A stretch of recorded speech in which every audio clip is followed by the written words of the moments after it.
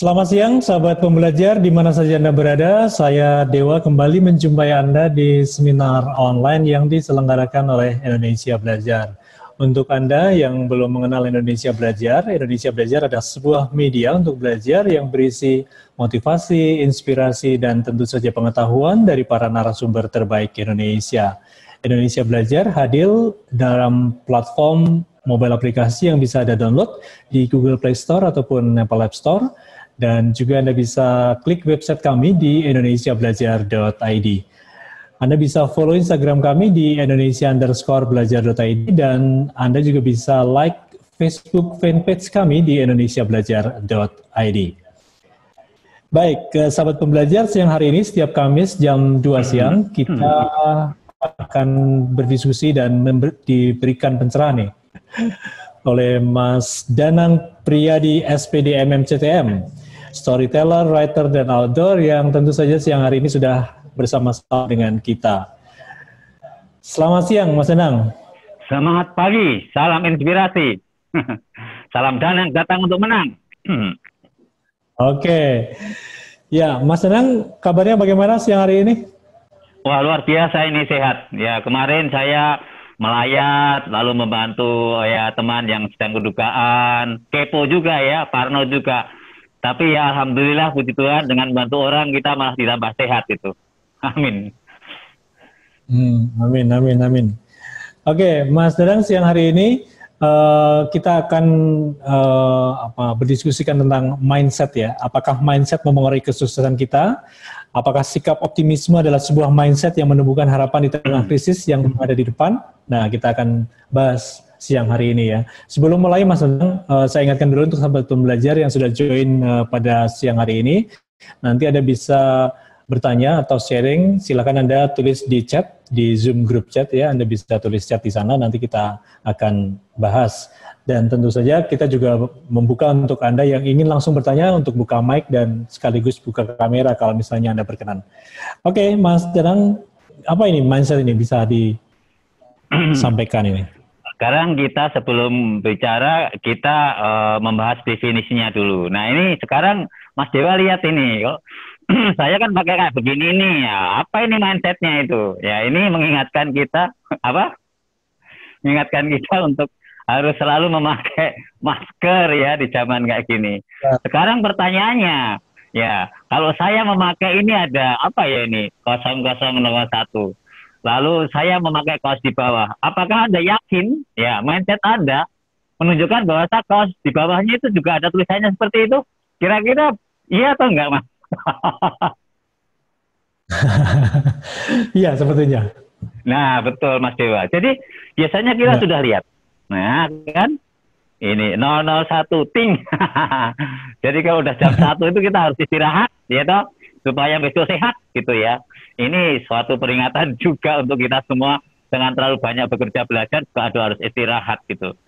Nah, orang biasanya kalau sudah bilang hitam, hitam, hitam gitu pasti semua hitam. Makanya ada yang dikatakan, loh sekarang saya tanya dulu ini ya, ini, makasih ya uh, Mbak Yoga sudah bergabung ini tetangga sebelah loh. Tapi malah bergabung di sini terima kasih uh, menjadi ya. pembelajar juga meskipun sudah lanjut usia kayak saya ya. Uh, Mas Dewa, biasanya orang kalau merebut angsa, pada umumnya warnanya apa aja, Pak? Angsa ya? Ya. Putih? Ya, putih, putih. Tapi ada ya. justru black swan. Artinya apa? Hmm. Ada loh angsa hitam, ya, itu. Artinya apa? Uh, mindset kita itu kadang-kadang kita takut berbeda dengan orang lain. Nah ini nanti ada contoh misalnya kemarin saya kirim uh, video sama Mas Dewa yang namanya Red Bersaudara. Itu meskipun nggak lulusan perguruan tinggi, dia lebih sedikit duitnya dibandingkan pesaingnya untuk membuat pesawat terbang, tapi dia justru malah bisa. Apa yang dia buat bisa? Saya yakin saya bisa terbang. Saya yakin saya bisa terbang. Jadi meyakinkan orang bahwa dia bisa terbang. Sementara yang punya uang banyak, teknologi canggih dengan orang pinter, itu meragukan gue aja dengan yang kayak begini uh, masih ragu bisa nggak gitu loh. Tetapi dia dengan yang sederhana itu bisa. Apa yang terjadi? Akhirnya dia bisa terbang. Nah saat si Wright bersaudara bisa terbang, justru pesaingnya yang kaya raya ini malah meninggalkan karena beda cita-citanya. Sementara itu sudah itu cita-citanya saya bisa terbang, pesaingnya saya kaya, saya terkenal, saya akan menjadi hebat. Jadi balik. Lalu akhirnya sebetulnya orang yang kaya, yang pinter tadi harusnya itu mengatakan hal yang lain. Misalnya mengatakan apa? Oh, itu penemuan yang luar biasa. Kalau gitu aku akan meningkatkan penemuan itu. Buktinya mas sekarang pesawat kan macam-macam kan?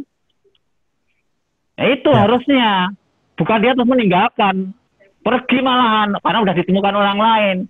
Lalu dia malah jadinya nggak terkenal, nggak kaya, nggak punya apa-apa. Baik, kita ke Gary Klein dulu ya, PhD ya, sudah profesor doktor artinya ada pengalaman. Itu senior scientist ya, seorang ahli yang sudah uh, kawakan ya, bisa dilihat di www.psikologitoday.com. Apa itu yang dimaksud mindset? Ya, mindset ya, itu yang dikatakan mindset adalah pola pikir, adalah keyakinan, ya, yang mengarahkan kita memilah apa yang terjadi dan apa yang harus kita lakukan. Ya. Jadi mindset itu bisa membantu kita menemukan peluang, tetapi mindset juga dapat menjebak kita dalam siklus yang merugikan bahkan menghancurkan diri kita sama sekali. Contoh sekarang pandemi. Kalau orang yang sudah mengatakan bahwa pandemi ini adalah masalah, lalu ya sudah diam saja, ya sudah hancur. Tapi bisa dikatakan adalah pandemi ini adalah peluang, challenge, opportunity. Nah sekarang anak-anak yang lahir ini ditulis di Kompas ya eh, Sabtu minggu yang lalu ya dua minggu yang lalu itu bahwa anak-anak generasi tahun 2020 yang lahir dalam situasi seperti ini bisa mengatakan dia celaka, bisa mengatakan dia beruntung.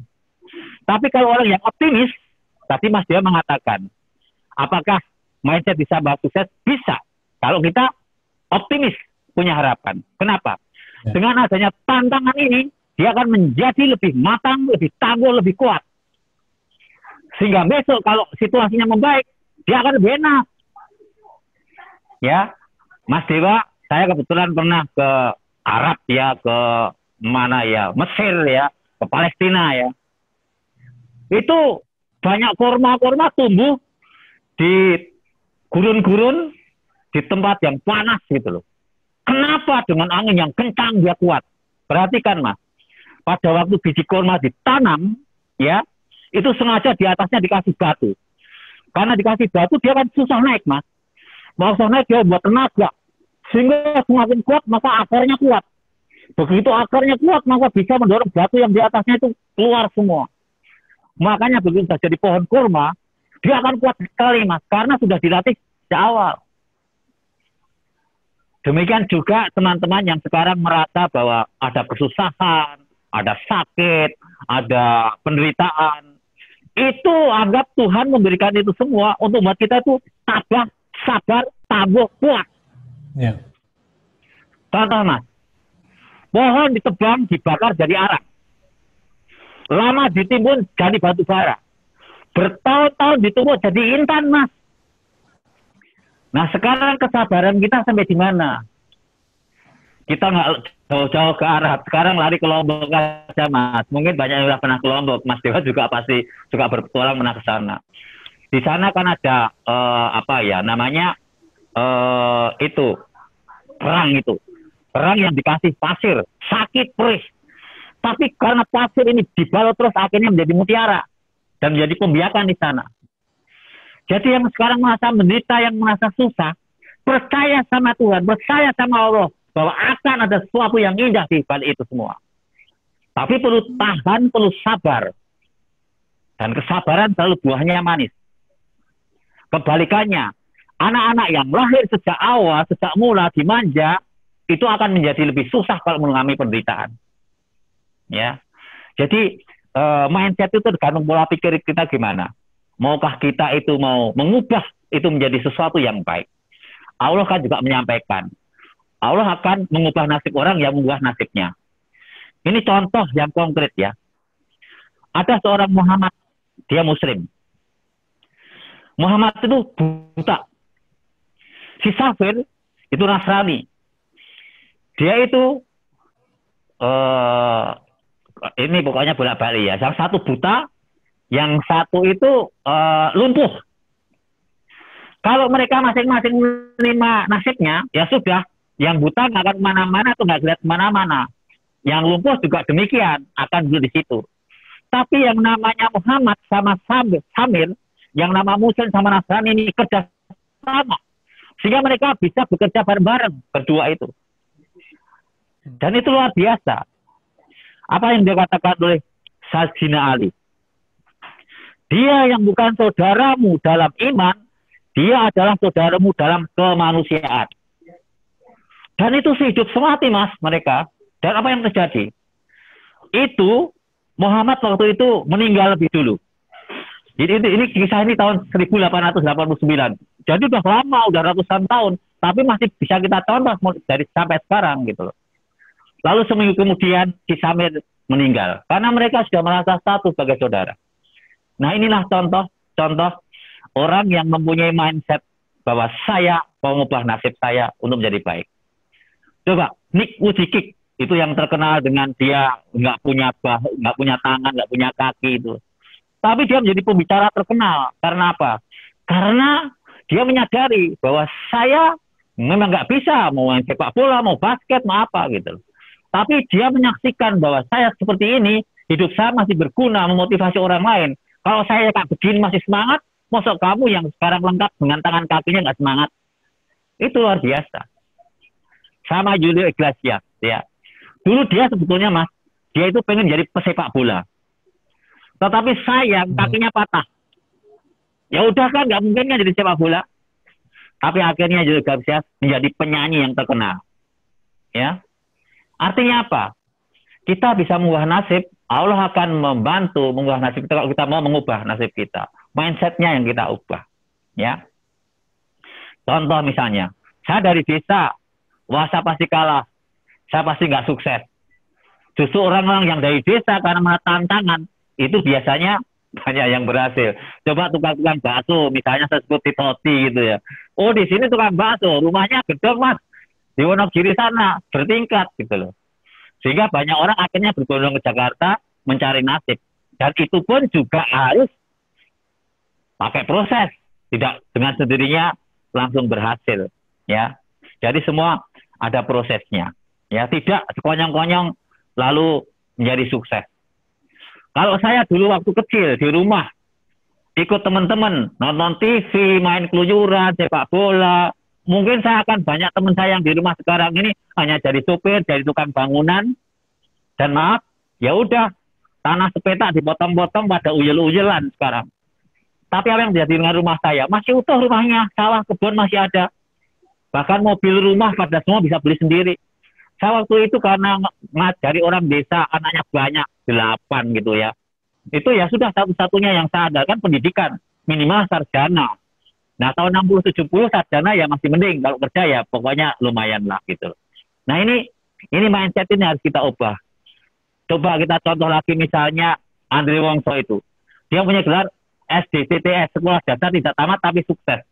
Kalau dia hanya mendapatkan pendidikan, oh mungkin dia nggak itu. Tapi sekarang wah menjadi motivator nomor satu di Indonesia. Jadi mindset itu pola pikir ya uh, yang menunjukkan nanti kita itu mau sukses atau tidak itu tergantung dari kita juga mau mengubah nggak nasib kita gitu. Tapi dengan ada optimis, ada semangat kita bisa itu. Lalu dalam kesusahan dan kesulitan itu kita mesti tetap tersenyum. Maka ada pepatah hati yang gembira adalah obat yang manjur. Ya iya. Saya ini terus terang sering udah dua, tiga, empat, lima kali kadang-kadang kepo rasanya mau mati saja. Tapi saya berserah sama Tuhan. Tuhan tolong Ampunilah aku, maafkan aku, terima aku. Dalam tanganku serahkan nyawaku Tuhan. Eh, besok masih bisa bangun. Terima kasih Tuhan. Nah, ucapan syukur, terima kasih, senyum, gembira ini ternyata bisa menangkal. Ya kalau kita nggak ada imun sehat ya, Mbak Yoga ini saksinya ya di rumah itu. Saya suka berjemur, olahraga, nyapu gitu loh. Bukan saya cari nama, wah mas Danang enggak. Saya olahraga sekaligus sehat ya Lalu masyarakat, tetangga juga senang kan kalau jalannya bersih itu jalan-jalannya ya Pak Yoko ya. Itu. Wah ini terima kasih sudah ada yang eh, nggak uh, mau kalah pakai masker juga. Ini maskernya lebih bagus itu. Kalau saya ini nggak bagus. Ini ini scuba. Kalau itu masker yang keren, itu masker yang bagus. Ini masih contoh. Ini mungkin yang masih bisa tembus ya. Jangan pakai yang punya saya ya. Ini biar untuk contoh konkret saja ya. Ini juga. Ini saya selalu pakai ini kan lambang dari the king of happy selling ya jadi itu ya. Terima kasih ini bro keren ya pakai kacamata untuk melindungi matahari tapi tetap sehat berjemur dan pakai ya maskernya yang bagus ya. Lalu ada pepatah dari Dale Carnegie. Di balik kritik tersembunyi pujian. Anda jangan takut dikritik orang. Anda jangan takut dibully orang. Saya itu sering dibully orang, dikritik orang. Tetapi saya cuek aja. Kalau kita menunjukkan sesuatu yang baik, jangan pernah meninggalkan kebaikan itu. Karena di balik kritik tersembunyi bencana ini untuk semua untuk wanita ya, atau untuk gadis-gadis itu. Kalau ada cowok yang mengatakan, ah kamu sombong, kamu sok, jangan kamu terima mentah. Itu mungkin karena menaksir kamu, dia nggak bisa deket kamu, nggak sampai ke kamu, lalu caranya terbalik. Jadi kuatkanlah dengan itu kamu tetap kamu, high price, high quality, kamu tetap ya wanita yang bernilai tinggi harus dipertahankan ya. Itu ya. kamu sudah ada pertanyaan? Atau saya jalan terus ya? Nah sama terus ya. dulu mas. Oh terus dulu, dulu aja ya. Terus dulu ya terus dulu. Yang namanya okay. bekerja. Yang namanya bekerja. ya. Ya, yang namanya ya. bekerja itu bukan untuk sekedar mencari uang. Kalau Anda bekerja, anda meringankan keluarga Anda, nggak ngerepotin orang tua Anda, Anda sudah pahlawan. Pahlawan itu dari bahasa Sanskerta pahala dan wan. Orang yang menghasilkan buah, orang yang menghasilkan hasil. Kalau yang Sinamo bilang apa? Yang nanya bekerja itu juga amal ibadah. Jadi kalau kita tidak kerja, oh kita sudah melawan fitrah Allah untuk kita bekerja. Nabi Sulaiman mengatakan ya belajar dari semut ya. Dia bekerja mengumpulkan makanan untuk nanti kalau ada musim dingin atau musim gugur dia bisa makan. Makanya kalau saat-saat selagi masih bisa seperti sekarang katakan mau ada resepsi. Sekarang kita ya kumpulin, kita hemat, kita makan ya hati-hati, makan yang sehat. Nah saya terus terang sekarang ini sudah mencoba enam bulan ini nggak makan goreng-gorengan, banyak sayur buah, makan nasi mungkin sehari sekali. Tapi lihat, saya kan sehat-sehat saja, ya. Berjemur matahari, istirahat cukup, banyak olahraga, ya. Nah ini ini ini hal sederhana sebetulnya. Nah sekarang kita lihat dari ibu negara kita, Iriani ya. Coba, itu ibu presiden loh. Ke mana-mana pakainya sederhana, mas. Coba, maaf ya kalau bandingkan dengan Pernah Ibu Presiden Filipina, Imelda Marcos, atau Ibu Perdana Menteri Malaysia, karena kebiasaan glamor, sepatunya banyak, dan seterusnya, akhirnya pakai uang negara, akhirnya korupsi. Sekarang yang tertinggal namanya apa? Jelek. Nah ini untuk contoh saja. Coba, Ibu Iriana ini ke mana-mana pakai sederhana. Karena pakai sederhana, maka istri pejabat-pejabat yang lain ikut sederhana. Sehingga apa? Kalau pejabat pada sederhana, Nah, maka rakyatnya juga senang. Makanya coba lihat di Irian dia. Gendong anak Irian yang rambutnya keriting. Termasuk suaminya Jokowi semua orang dekat bersalaman. Karena dekat, karena sederhana, karena seperti rakyat. Kalau kita pakainya glamor, mewah, takut dekat, takut kotor, takut nyentuh. Nah ini contoh saja. Jadi itu termasuk mindset bahwa presiden harusnya oh dia glamor harusnya mewah harusnya itu bisa aja bahwa dibalik. Mindset itu sederhana. Termasuk supaya rakyat itu mencintai kebudayaan daerahnya sekarang setiap bicara bendera atau kegiatan-kegiatan memakai pakaian-pakaian daerah. Atau mungkin memakai baju batik misalnya. Nah ini ini kan luar biasa nggak memberdayakan masyarakat. Jadi ini termasuk mindset juga. Lalu kalau saya kerja di Gramedia Yakob Utomo juga mengatakan bahwa bekerja itu bukan sekedar mencari duit, tapi soal kejujuran. Maka dikatakan, saya di sini tidak mencari orang pintar, tapi orang jujur. Orang boleh kurang pintar, tetapi kalau dia jujur, dia bisa diupgrade dengan dilatih supaya terampil, di sekolahin supaya pintar. Makanya kita juga ada Universitas Media Nusantara, ada penelitian uh, misalnya bahasa Inggris LT dan seterusnya, ya. Jadi integritas, ya, kejujuran. Nah ini penting. Makanya juga mungkin bagi istri-istri atau mungkin bagi calon-calon istri atau wanita itu lebih baik kamu nyari orang jujur daripada pembohong. Lo ya, dia kelihatannya datang bawa mobil, mobilnya siapa? Kalau rental mas, wah, saya itu. Kalau mobil kreditan, ah, nanti kita jalan-jalan punya kredit, kredit, kredit kan susah. itu jadi, jadi jadi uh, harus harus harus apa lihat seperti itu ya. Saya punya teman namanya Louis Pamadikan. Dia itu kalau ngelihat hal yang sehari-hari gini, dia itu membuat Mas Dewa udah tak kasih bukunya ya, namanya Inner Journey itu. Jadi melihat kedalaman. Coba dia memperhatikan sekarang lagi hujan kan Mas, banyak hujan kan. Nah, sama hujan itu bagi orang menyusahkan, mungkin bagi pedagang menyusahkan. Apalagi pedagang kerupuk ya Mas. Pedagang es ya kan? Hancur itu ya. Hmm. hancur. Tapi dia perhatikan juga. Dalam kesulitan selalu tumbuh kesempatan. Seperti anak-anak yang bermain di derasnya hujan. Loh anak-anak melihat hujan bukan masalah. Saya tuh melihat di depan nah ini cucu-cucunya Mbak Yoga ya saya lihat kemarin tuh. Wah asik bermain-main itu hujan itu semprot-semprotan itu. Saya senang melihat mereka nggak sedih malah senang gitu loh. Kadang-kadang anak-anak wah nggak bisa main wah nggak itu tapi di balik itu dia bisa main juga main hujan-hujanan gitu loh. Ya tentu saja protokol ya Mbak Yoga. Nanti terus mandi pakai sabun minum yang hangat-hangat minum air panas minum air hangat. Nah ini sama. Kita saat-saat seperti ini mindsetnya harus diubah ya yaitu never give up today is hard hari ini memang keras ya susah tomorrow will, will be worse mungkin bisa akan lebih susah. Kalau misalnya sekarang banyak PSBB nggak kerja, banyak pengangguran. But the day after tomorrow, tetapi hari sudah besok, will be sunshine, percaya akan ada matahari loh. Nah kadang-kadang orang nggak sabar menunggu matahari. Ya, lagi gelap duduk sedikit, wah sudah. Kiamat. Gitu. Kemarin Bogor hujan es, kiamat, ya kan?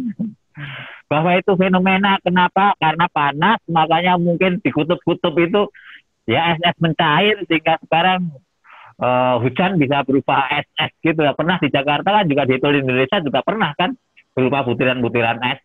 Nah bagi orang susah ya wah nyakitin. Tapi kalau bagi kita yang optimis nggak kasih sirup kan mas? Wah minum es nggak usah nggak usah di kulkas gitu nggak usah beli batu es batu kasih sirup ya uh, ini Mas Rui ya kalau datang ya terima kasih ya.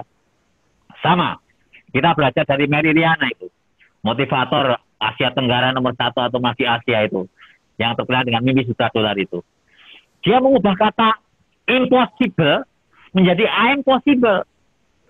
Dari kisahnya dia, yang namanya mahasiswa di Singapura itu nggak boleh mas kerja, harus ada suratnya. Tapi dia nekat aja. Buktinya dia justru menjadi milioner.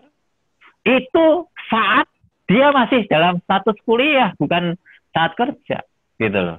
Ya gimana caranya? Ya kalau kita ada kemauan ada jalan. There is a will there is a way. Jadi kemauan itu sesuatu yang kuat. Ya apa pun masalahnya itu kalau kita ada kemauan pasti ada jalan tapi jangan mengandalkan diri sendiri artinya antroposentris ya kita harus berada pada Allah Tuhan yang menguatkan kita jadi hidup itu seolah-olah kita mengandalkan tergantung dari Allah, Allah. Tetapi dalam bekerja, suksesnya seolah tergantung dari kita. Maka saya sering mengatakan, do the best, kerjakan yang terbaik, and make God do the rest. Dan Tuhan akan menyempurnakan. Mungkin ada yang mau uh, ngasih uh, sharing atau tanya, atau Mas Dewa boleh juga untuk menambahkan. Okay. Oke, Mas, Mas yang saya saya informasikan dulu untuk sahabat pembelajar yang join pada siang hari ini. Anda bisa bertanya, silakan langsung tulis di chat atau silakan Anda buka mic langsung bicara dengan Mas Danang ya. Silakan, ada Bu Yuke yang buka kamera. ada pertanyaan Bu Yuke atau Pak Hima, ada Pak Hans juga nih. Selamat siang Pak Danang, tim dan teman-teman semua. Selamat siang juga Pak Hans. Kemudian ada Bu Ambar, selamat siang, vibrasi positif. Ya, kita semua harus positif ya. Karena mindset kita harus positif dan yakin ya Mas ya. Ya, ini Mas Hima ini dari Jogja. Ya, Mbak Ambar dari Bogor. Ini benar-benar Indonesia nih, Mbak Yoga dari Ponjeruk ya. Memang dari Indonesia ini. Kemudian ada Mama Brian, ada Ibu Devi, ada Klau, ada Pak Sutijab, ada Bu Zulfa, ada Pak Nopen. Wah ini banyak juga nih. Mungkin kalau bisa mau nanya silakan ya, kita udah buka nih eh, kesempatannya. Oke. Okay. Uh, sementara belum, kita bisa di dulu. Ya. Ada pepatah, the best is the enemy of the good. Yang terbaik itu, itu adalah lawan dari yang baik. Artinya apa? Untuk menjadi yang terbaik, itu kita nggak cukup baik.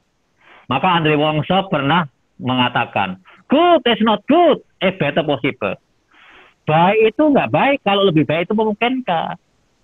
Good is not enough, a better possible. Baik itu nggak cukup kalau lebih baik itu memungkinkan. Dalam pelatihan saya di Carnegie, saya selalu diminta untuk buat yel-yel, Mas. Good, better, best. Always do the better until you get the best. Ya. Jadi, kerjakan yang lebih baik, terus lebih baik, sampai Anda mencapai yang terbaik. Ya sama. Kadang-kadang mindset, oh sales itu jelek ya, sales itu pekerjaan yang terpaksa. Eh nanti dulu. Justru sales itu kesempatan paling gampang untuk meningkatkan karir saya itu dari SES mensyukurin ya, ya dari SES akhirnya koordinator SES, akhirnya kepala bidang, akhirnya manajer pemasaran, akhirnya national manager, ya kalau punya perusahaan akhirnya menjadi direktur kan. Jadi itu kesempatan yang luar biasa. Jadi soal mindset kita, sesuatu itu kalau kita ubah positif, tadi Mas Dewa katakan ya hasilnya akan menjadi positif. Lalu Napoleon Hill dalam bukunya mengatakan, from good to great, jadi bukan dari sekedar baik ke lebih baik, langsung lompat menjadi paling baik. Maka dalam bekerja juga jangan setengah-setengah, harus semaksimal mungkin. Ya. Saya nggak akan menulis buku-buku yang bestseller ini dan menginspirasi Indonesia dari Sabang sampai Merauke, dari Miangas sampai Pulau kalau saya nggak punya pengalaman. Justru pengalaman saya ngasih contoh langsung terjun di lapangan dan orang meniru bisa, wah itu bagi saya kesenangan saya bukan saya berhasil jual buku. Orang-orang bisa mempraktekkan. Nah ini ini bagi saya ini anugerah yang luar biasa. Tentu orang-orang tadi apalagi untuk pimpinan-pimpinan menyebarkan ke anak buahnya ke yang lain, wah itu tambah luar biasa. Makanya terima kasih Ibu Lina dari Batam ini mau mengajak saya untuk ya membahas buku yang ketiga saya ini supaya bahagia dalam bekerja, bahagia dalam hidup, bahagia dalam keluarga, dan anak buahnya bahagia. Kalau senang mas bekerja dengan passion, kerjanya enak. Kalau kerja enak, orang lain yang lihat enak, maka yang beli enak, hasilnya enak. Itu. Ya sama. Yeah. Saya senang sekarang kalau banyak orang menulis buku dan pengen menulis buku.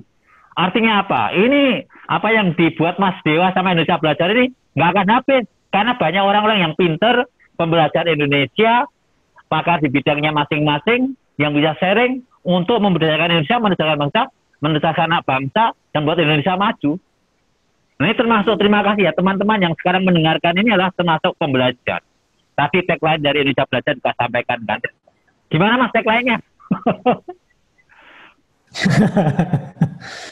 kita Indonesia Mas Indonesia belajar bersama Indonesia belajar demi Indonesia maju. Iya, artinya kalau kita nggak mau belajar nggak akan maju. Ya. Iya. Okay. Ya, uh, when a man stop learning, he stop growing. Kalau orang itu berhenti belajar, dia berhenti tumbuh. Saya itu meskipun dikatakan suhu, inspirator, guru sampai sekarang, kalau mau lihat bacaan saya, wah tak bergabrek bukunya. Belajar terus sampai kurang waktu saya belajar. Karena satu-satunya salah satunya orang sukses ya belajar itu. Saya bisa menjadi seperti karena membaca buku, banyak membaca buku. Sekarang giliran saya menulis buku, biar orang lain belajar dari buku. Ya, Baik. Oke. Okay.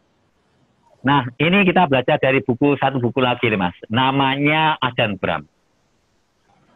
Saat ada seorang hmm. arsitek membuat bangunan, lalu ada orang yang mengatakan, wah, kok ini bangunannya kok ada batu dua tiga yang menonjol ya?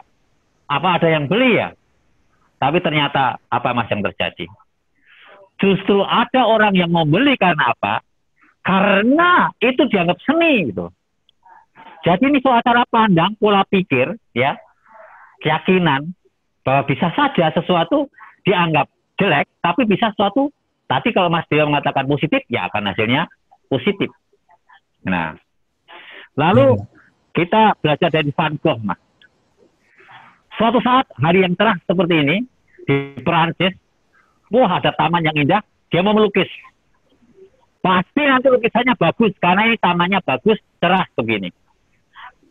Karena dia itu ya mau melukis, banyak orang yang ikutin ingin lihat cara melukisnya. Ada seorang ibu, ada seorang wanita yang ingin melihat karena saking antusiasnya dia lari-lari ke sama apa yang terjadi. Dia tersandung dan menubruk Van Gogh yang lagi menulis, lagi membuat coretan mas. Akhirnya coretan itu menggaris, serat. Mas, di taman itu adanya bunga, nggak ada pohon.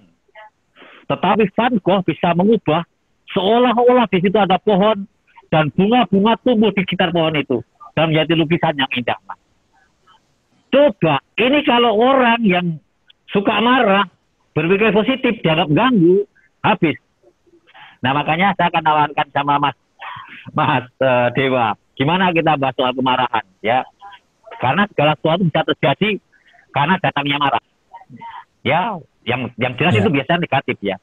Tetapi sebaliknya dengan marah yang terkontrol kita menjadi pribadi yang lebih bijaksana. Itu saya alami ada anak ya e, mengecewakan, ngecek saya, saya mau marah tapi saya rem. Ternyata dengan di buku saya, saya tulis ya, dengan saya mengerem itu akhirnya dia dengan bapaknya bisa menjual buku, membeli buku sampai satu setengah dua setengah juta. Coba kalau saya dari marah, wah yang ada saya dipecat mas, itu contoh aja. Nah ini salah satu contoh mindset bahwa kita bisa mengubah sesuatu yang jelek, yang buruk pun menjadi baik kalau Jadi, kita memang sikap dasarnya baik gitu. Oke Mas Danang, ini ada per, ada pertanyaan yang sudah masuk dari Bu Ida Susana. Anak sekarang kurang suka baca buku, lebih suka buka Google. Bagaimana menumbuhkan minat bacanya Pak? Terima kasih. Apakah nah, perlu diubah mindsetnya atau memang kondisi eranya udah berbeda ya? Silakan Mas. Ini Ibu Ida Susana ini oh, seorang apa ya uh, usahawan yang sukses Mas beliau. Sudah keliling dunia beliau. Nah, cuman sekarang agak terhambat ya karena ini. Tapi dia tetap bisa keliling, saya bisa melihat wah ikut bahagia. Terima kasih Ibu Susana, luar biasa. Nah sekarang tinggal anaknya itu ya sesuaikan dengan zaman, dengan teknologi. Makanya kenapa buku saya ini ada karikaturnya, Ibu ada anak yang baca buku saya ini lima kali loh, pas lima SD. Bapaknya yang bilang, seneng karena apa dibuat kayak cerita enak bahasanya.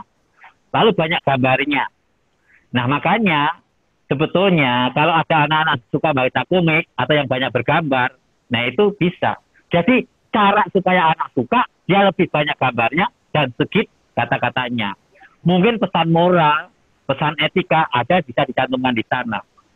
Nah ini Lalu bisa saja buku itu dibuat dalam bentuk e-book sehingga dia buka nggak seperti buku yang namanya fisik seperti ini, tetapi dia lewat e-book. Nah, saya mengatakan seperti ini juga pengalaman saya. Saya kaget kemarin, Mas. Ternyata buku saya itu ratusan itu laku lewat e-book. Itu nggak saya nggak nyana loh, Mas. Dalam hmm. setengah tahun ini loh. Ternyata ada gitu loh. Jadi untuk menambahkan semangat uh, pembaca suka baca itu, ya uh, bisa lewat gambar-gambar, lewat komik, dibuat karikatur dengan banyak gambarnya daripada tulisannya, lalu dibuat uh, e-book seperti itu.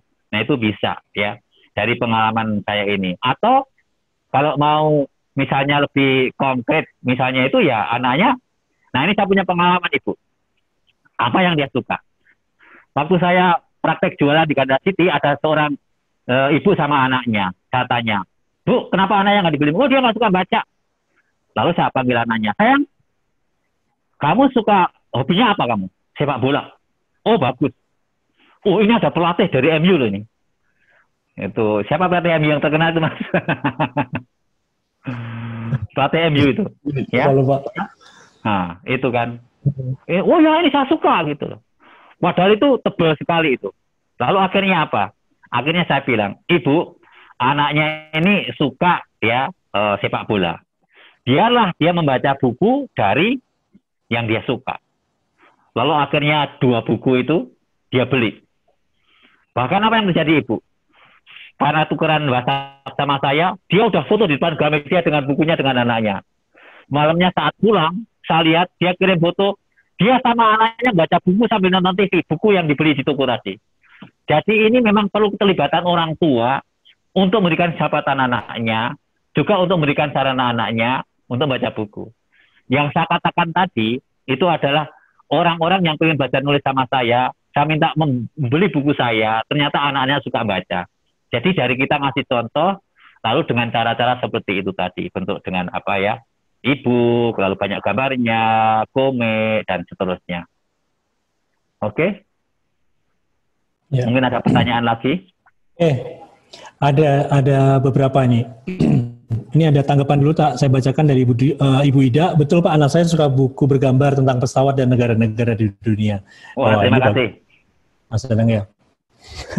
Oke, ini dari Bapak A3 atau Ibu A3 ini saya belum dapat konfirmasi. Mas Danang, bagaimana cara konsisten Mas Danang dalam membaca di keseharian? Ya ini sejak kecil saya suka baca sih. Masalahnya gini, saya dulu kan orang miskin, terus uh, orang pintar itu harus banyak baca. Jadi sejak kecil itu seperti ibu tadi, ibu Ida tadi. Jadi mulanya saya itu suka baca komik-komik mas, komik-komik gitu kan.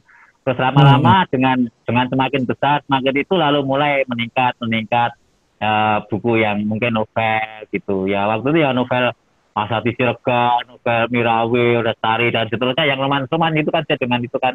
Tapi begitu ya. dengan saya dengan kerja tuntutan kerja ya marketing, bisnis, loh. Lalu sekarang uh, sesuai dengan pendidikan ya lalu apa ya how to yang praktis-praktis. Nah sekarang nulis ya saya nulis yang ah intinya gini lah. Baca sesuai dengan hobi yang kita suka. Ya. Kalau misalnya olahraga ya baca olahraga. Kalau suka bisnis ya bisnis. Kalau suka novel ya novel.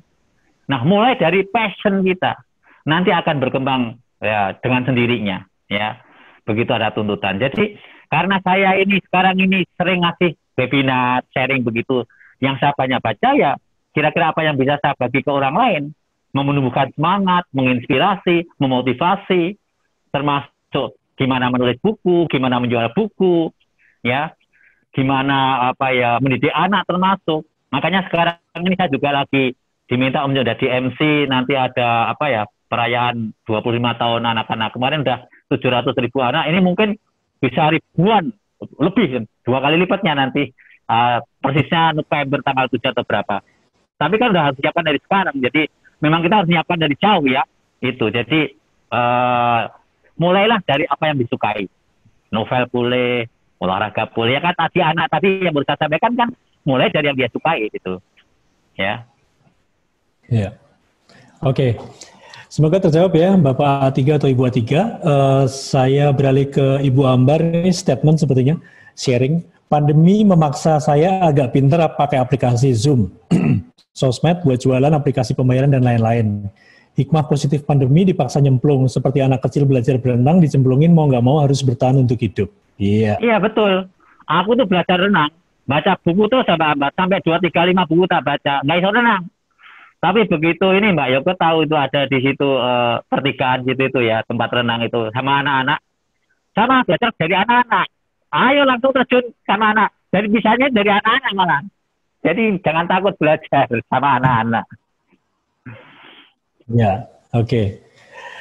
Oke, terima kasih ya Bu Ambar yang sudah sharing. Kemudian ada Pak Nopen Hari, oh pelatih MU All Gunner. Mungkin yang dimaksud yeah, tadi. Yeah. Oke, okay. ini ada Mas Himadita, apa Danang apa yang harus kita lakukan kalau anak mereka minta beli mainan atau sesuatu di supermarket?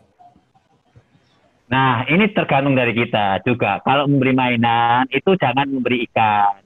Diberi ikan dia bisa buat belajar. Misalnya dibuatin beliin Lego, dengan Lego nanti bisa buat rumah-rumahan, mobil-mobilan. Jadi ajak kreatif. Atau tank, atau pesawat, atau perahu, atau kapal, atau soldier. Sehingga anak diajak kreatif. Jadi kalau membelikan itu sesuatu yang bisa mendidik, ya misalnya ya Lego atau misalnya itu yang pasang-pasangan apa ya mas itu kan ada itu yang kalau dibuka lalu kita itu sehingga mengatih kreativitas dan inovatif gitu.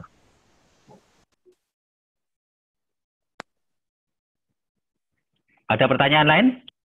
uh, udah udah belum ada sih mas, belum ada sih. Uh, mudah-mudahan okay. masih jawab ya. Oke. Okay. Ada lagi mungkin silakan kalau masih ada waktu nih uh, untuk anda yang ingin sharing atau bertanya. Baik, sambil mengisi waktu ya. Gini, Dan kita belajar, lanjutkan ya. Ya, kita belajar dari petani. Petani itu untuk sukses, dia nggak hanya cukup nanam lalu berdoa sama Tuhan supaya padinya tumbuh.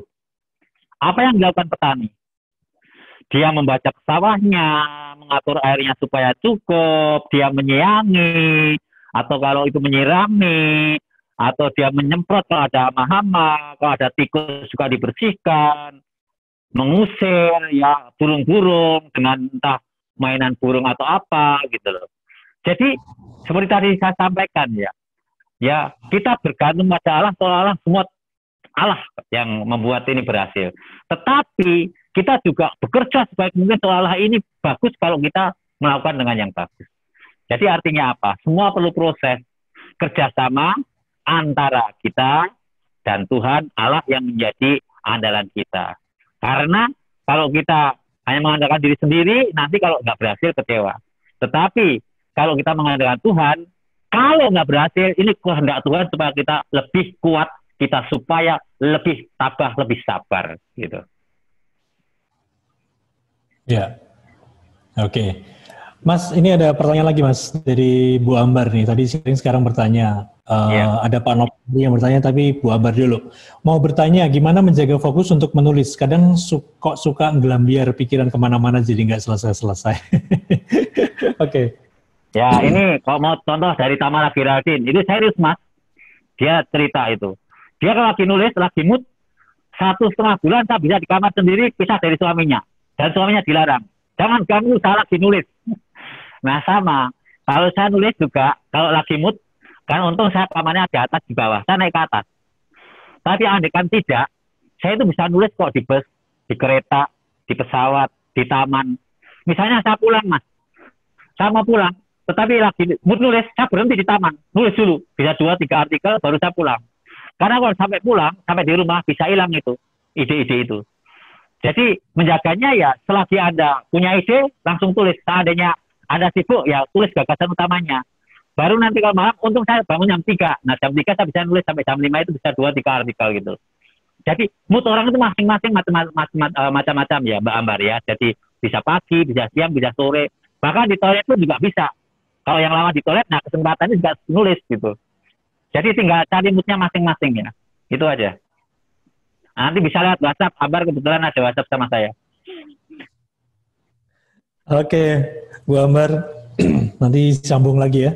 Ada Pak Nopen Hari, uh, Pak Danang mau tanya mindset sama dengan keyakinan. Bagaimana dengan mengimani, Pak? Nah, gini ya. Uh, yakin, iman, dan seterusnya itu. Uh, jadi yang namanya iman itu kan percaya sama Tuhan. Makanya ini ada soal antroposentris, ada soal uh, teosentris. Kalau untuk pesan itu tidak mengandalkan kita, misalnya, you are what you think, if you think you can, you can. Kami seperti yang kamu pikir, kamu bisa, pasti bisa, yakin. Pernah saya ceritakan, Joko, seorang satpam di Jogja, itu percaya sama saya bahwa nanti saya akan dapat doorpass yang pertama itu dapat kulkas. Kalau diundi dari 400 500 orang itu nggak gampang loh, yakin mendapatkan hadiah yang utama itu. Tetapi karena yakin, bisa. Bahkan saya pernah gila loh. Dari tujuh ribu orang lomba matematika saya juara satu loh. Loh gak gampang loh dari tujuh ribu orang itu. Tapi apakah yakin saya berhenti di situ? Oh enggak. Saya tentu berdoa, berserah sama Allah, berserah sama Tuhan. Nah itu iman. Sehingga saya tambah yakin. tambah percaya. Saya nggak berpikir antroposentris, usaha saya, tetapi saya lebih dari itu, saya spiritual mengandalkan Tuhan. Kalau spirit Tuhan di dalam diri kita, siapa berani melawan? Itu sama pada waktu saya lomba pidato dengan lawan 40 manajer direktur. Saya katakan, kenapa nama saya datang, datang untuk menang, saya yakin. Tetapi di balik itu saya, Tuhan tolong. Waktu kuliah jiwa saya juara satu. Saya mengatakan bahwa Tuhan berilah kemurahan hati lewat dosen menguji kami. Meskipun saya sudah statusnya IPK 3,577, kalau saya dapat nilai A, ujian saya mendapat 377, saya juara satu, tapi saya minta sama Tuhan supaya saya itu dibantu. Dan betul, teman saya udah ujian duluan, dapat B. Tapi saya juga nggak yakin saya akan dapat A. Makanya saya berdoa sama Tuhan. Tuhan tolong. Artinya saya sudah di atas posisi, tetapi sekarang saya harus meyakinkan posisi itu dengan beriman. Artinya percaya, berserah sama Tuhan. Dan Tuhan mengabulkan. Dosen mengatakan, atas kemurahan hati kami, kami nyatakan Anda lulus dengan cum laude. Nilainya saya juara satu. Tapi saya yakin bukan karena keyakinan saya sendiri, tapi iman saya sama Tuhan yang menguatkan saya. Maka pesan saya, to the best, kerjakan yang sebaik mungkin, and make God rest. Tuhan akan menyempurnakan antara teosentris usaha manusia dan teosentris Allah yang merestui itu nyatu. Itu hebat. Oke. Oke, okay, semoga terjawab. Uh, dan saya ini ada Mas Sima. Uh, bagaimana untuk menolak anak belikan mainan tadi belum mungkin belum terjawab tadi ya. Oke. Okay. Oh, menolak ya. Oh, tadi nggak membelikan ya. Kalau membelikan cari yang uh, apa untuk kreatif. Kalau menolak ya kita misalnya uh, buku dulu, sekolah dulu gitu loh. Kalau kamu sekolah, nanti kamu pinter, baru mungkin diberikan mainan. Jadi mainan itu sebagai reward, sebagai hadiah, orang harus berusaha dulu. Itu bisa seperti itu misalnya gitu loh. Oke. Okay. Oke, okay, semoga terjawab semuanya ya yang sudah bertanya. Uh, Mas Danang, ini waktunya kita uh, sudah di penghujung acara, jadi ada closing statement untuk tema kita siang hari ini, Mas Danang? Baik. Never give up. Jangan pernah menyerah. Today is Sekarang ini memang susah. Tomorrow will be worse. Mungkin besok lebih susah. But the day after tomorrow will be sunshine. Percayalah. Kalau Anda berpikir positif, Anda punya harapan, Anda beriman sama Allah, Tuhan akan memberikan terang dan terbit matahari untuk kita semua menjadi sukses dan bahagia. Terima kasih. Salam dana datang untuk menang. Oke, terima kasih banyak Mas Darang Priyadi atas pencerahannya pada siang hari ini dan terima kasih juga untuk sahabat pembelajar yang sudah gabung pada siang hari ini. Dan terima kasih juga untuk Anda yang tadi bertanya dan sharing. Kita berjumpa lagi Kamis minggu depan, tentu saja dengan tema yang berbeda dan lebih menarik untuk kita diskusikan. Selamat siang, salam sukses luar biasa, stay healthy.